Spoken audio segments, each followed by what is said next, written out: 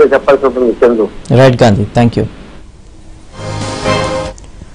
right ఇక దీనిపై మరింత సమాచారం మా దినకర్ రాజ్ కూడా అందిస్తారు. దినకర్ రాజ్ చికిత్స సమయంలో ఆయన పల్స్ దొరకడం కూడా కష్టతరమైందని వైద్య వర్గాలు వెల్లడించాయి. అసలు డాక్టర్లు ఏమంటున్నారు ఈ సడన్ డెత్ మీద? ప్రస్తుతం నెల్లూరు జిల్లాలోని ఆత్మకూరు నియోజకవర్గంలో పరిస్థితులు ఎలా ఉన్నాయి? ప్రజానీకం ఎలా స్పందిస్తున్నారు దీనిపై? మేకపాటి గౌతమ్ రెడ్డి అయితే ఏపీ ఇన్ఫర్మేషన్ టెక్నాలజీ మినిస్టర్గా ఇండస్ట్రియల్ మినిస్టర్గా ఉన్నారు. మెగవాడి గౌతమ్ రెడ్డి మృతి పట్ల. ఒకసారిగా షాక్కు గురవుతున్నారు వైఎస్ఆర్ కాంగ్రెస్ పార్టీ శ్రేణులతో పాటుగా. ప్రతిపక్ష తెలుగుదేశం నాయకులు కూడా. ఎందుకంటే మెగవాడి గౌతమ్ రెడ్డిని ఒక రాజకీయ నాయకుడిగా ఎవరు కూడా చూడరు. ఎందుకంటే అందరితో సన్నిహిత సంబంధాలు స్నేహ సంబంధాలు ఉంటాయి. అలాంటి మేకపాటి గౌతమ్ రెడ్డి హఠాత్తుగా చనిపోవడం. ఎందుకంటే ఫిజికల్గా ఎప్పుడు ఫిట్గా ఉంటారు ఆరోగ్యంగా ఉంటారు. మేకపాటి గౌతమ్ రెడ్డిని ఒక పొలిటికల్ లీడర్గా చూడ ఒక హీరో లాగా చూస్తూ ఉంటారు. ఎందుకంటే అంత స్మార్ట్గా కనిపిస్తూ ఉంటారు. డ్రెస్సింగ్ కానీ ఆయన కాస్ట్యూమ్స్ కానీ ఆహారం కానీ అంత చాలా గంభీరంగా ఉంటుంది. ఒక సినిమా హీరో లాగా చాలా అందంగా కనిపిస్తూ ఉంటాడు.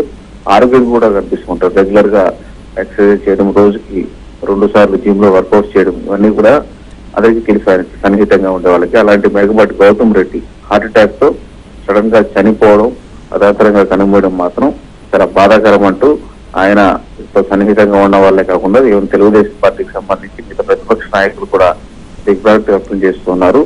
ఆయనకు భార్య కీర్తి అదేవిధంగా ఒక కుమార్తె ఉన్నారు. మేకపాటి గౌతమ్ రెడ్డి చాలా వివాదాస్పద సమయాల్లో కూడా ఎక్కడ కూడా తెలుగుదేశం పార్టీకి ఆయన కార్నర్ కాలేదు. ఎందుకంటే మేకపాటి గౌతమ్ రెడ్డి మీద తక్కువగా విమర్శలు చేసిన పరిస్థితి ఉంది. ఈవెన్ చంద్రబాబు నాయుడు కానీ నారా లోకేష్ కానీ తెలుగుదేశం పార్టీ నాయకులు కానీ ఎందుకంటే మేకపాటి గౌతమ్ రెడ్డి వ్యవహార శైలి అలాగే ఉంటుంది. ఆయన మాటలు కూడా హోందాగా ఉంటాయి. హోందాగా ప్రవర్తిస్తూ ఉంటారు రాజకీయాల్లో కూడా. ఈవెన్ నెల్లూరు జిల్లాకు వస్తే నెల్లూరు జిల్లాలో వైఎస్ఆర్ కాంగ్రెస్ పార్టీలో ఎన్ని గ్రూపులు ఎన్ని గొడవలు ఉన్నప్పటికీ మంత్రులకు ఎమ్మెల్యేలకు మధ్య చాలా గ్యాప్ ఉన్నప్పటికీ కూడా ఆయన చాలా వీళ్ళు వీటన్నిటిని కూడా మీడియేషన్ చేసే దూరంలో వ్యవహరిస్తూ ఉంటారు. మేకపాటి గౌతమ్ రెడ్డికి సంబంధించి చాలా కీలకమైన బాధ్యతలు కూడా ముఖ్యమంత్రి వైఎస్ జగన్మోహన్ రెడ్డి ఇవ్వడం జరిగింది. ఎందుకంటే బాగా తెలియని వారు చదువుకుని వారు ఈ పారిశ్రామిక రంగానికి సంబంధించి అవగాహన ఉన్న వ్యక్తిగా మేకపాటి గౌతమ్ రెడ్డి చాలా క్రియాశీలకంగా ఉంటున్నారు కాబట్టి వైఎస్ జగన్మోహన్ రెడ్డి కూడా ఏపీ ముఖ్యమంత్రి కూడా చాలా కీలకమైన పోస్టులు ఆయనకి ఇవ్వడం జరిగింది.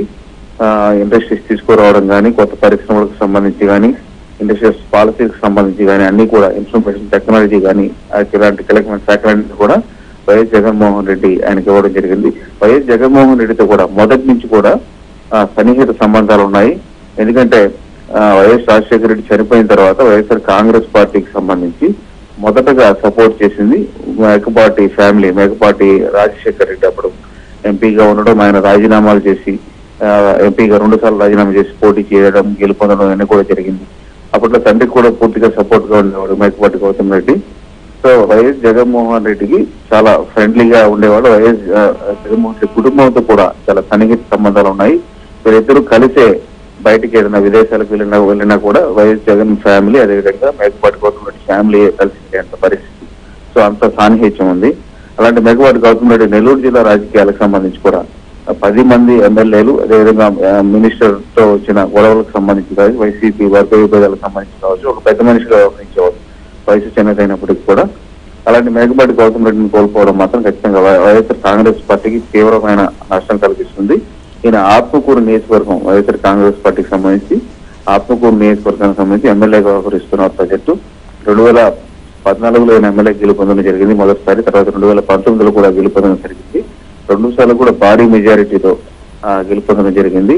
మేకపాటి రాజమోహన్ రెడ్డి పొలిటికల్ వారసుడుగా ఎందుకంటే గౌతమ్ రెడ్డికి మొత్తంగా ముగ్గురు సోదరులు ఉన్నారు. ఈ ముగ్గురు సోదరుల్లో మేకపాటి గౌతమ్ రెడ్డిని రాజకీయాల్లోకి తీసుకురావడం జరిగింది. మిగతా అందరూ కూడా వ్యాపార రంగంలో ఉన్నారు. మేకపాటి రాజమోహన్ రెడ్డి రాజకీయ వారసుడిగా మేకపాటి గౌతమ్ రెడ్డి అంటే రాజకీయాలకు కొత్త అయినప్పటికీ కూడా ఆయన ధరించే లాల్చీ కానీ పైజామా కానీ ఆహారం కానీ ప్రజలకు దగ్గరగా ఉండడం గాని నియోజకవర్గ ఆత్మకూరు నియోజకవర్గ ప్రజలకు సన్నిహితంగా ఉండడం వాళ్ళ సమస్యలు ఎప్పటికప్పుడు పరిష్కరించడం అవినీతి ఆరోపణలకు ముఖ్యంగా ఆత్మకూరు నియోజకవర్గంలో కింది స్థాయి లీడర్స్ ఎవరన్నా అవినీతి అక్రమాలకు పాల్పడుతున్నా వాదించడం చెడ్డ పేరు వస్తుందని చెప్పి చెప్పడం ఇవన్నీ కూడా ఆయన పర్సనాలిటీని తెలిపే విషయాలు. సో దీంతో మొత్తానికి మేకపాటి గౌతమ్ రెడ్డిని కోల్పోవడం మాత్రం ఒక నెల్లూరు జిల్లా రాజకీయాల్లో ఒక విలువలతో రాజకీయం అయితే రాజకీయ- అత్యంత సౌమ్యులు అలానే ఫిజికల్ ఫిట్నెస్ ఉండి హెల్త్ ఇష్యూస్ లేని పర్సన్ ఇటీవలే కోవిడ్ నుంచి కోలుకున్నట్టు కూడా మనకు తెలుస్తుంది. అయితే పోస్ట్ కోవిడ్ పరిణామాలే గుండెపోటుకి కారణంగా చెప్తున్నారా వైద్యులు?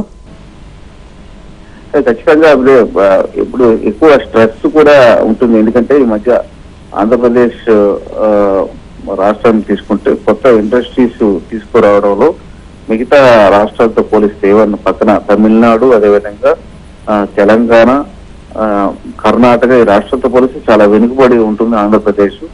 అది ఇక్కడ ఉన్న పరిస్థితులు రాజకీయ పరిస్థితులు కావచ్చు ఇక్కడ ఉన్న ఆర్థిక నిలకడ లేకపోవడము తీసుకుంటున్న నిర్ణయాలు కావచ్చు వీటితో చాలా స్ట్రెస్ కూడా ఫీల్ అయ్యే పరిస్థితి. ఎందుకంటే కొత్త ఇండస్ట్రీస్ రావడం లేదు అన్ఎంప్లాయ్మెంట్ పెరుగుతూ ఉంది. ఇన్ఫర్మేషన్ టెక్నాలజీ రంగం వైజాగ్లో ఇచ్చిన ప్లేసెస్ ఇచ్చినా కూడా అక్కడికి ముందుకు రావడం లేదు. ఇవన్నీ కూడా అంటే ఈ టైంలో ప్రూవ్ చేసుకోవాలి. ఈ టూ అండ్ హాఫ్ ఇయర్ టైంలో ఒక క్యాపిటల్ ఎక్కడ అనేది డిసైడ్ కాలేదు. దీంతో వెనుకబాటు గౌతమ్ చాలా వరకు ప్రయత్నిస్తున్నారు కొత్త ఇండస్ట్రీస్ తీసుకుని వచ్చేదానికి సంబంధించి. ఇటీవల నేను దుబాయ్ కూడా వెళ్ళడం జరిగింది. దుబాయ్ ఇండస్ట్రియల్ ఎక్స్పో కూడా పాల్గొని కొంత అక్కడ ఒక నాలుగైదు వేల కోట్ల రూపాయల నిధులతో ఇండస్ట్రీస్ తెచ్చేందుకు కూడా ప్లాన్ చేశారని కూడా మనకు వార్తలు వచ్చాయి. సో ఈ నేపథ్యంలోనే దుబాయ్ నుంచి రావడం దీనికి ముందే కోవిడ్ నుంచి ఆయన కోలుకోవడం జరిగింది. ఇటీవల థర్డ్ వేవ్లో కరోనా బారిన పడడం కోలుకోవడం. సో ఫిజికల్గా కూడా ఎప్పుడు ఫిట్గా ఉంటారు.